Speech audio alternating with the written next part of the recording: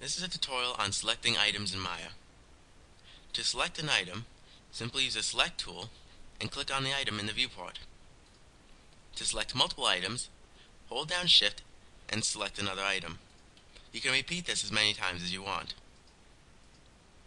To deselect an item, hold down Control and click on the item you don't want selected anymore. To deselect all the items, simply click in an empty part of the screen or go to Edit, Deselect. You, there are other ways of selecting multiple items in Maya. You can click and drag a rectangle around those items, or you can use the lasso tool. Go to Edit, Lasso Select tool, and draw around the items you want to select. You can also find the lasso tool on your toolbox. Thanks for watching this tutorial.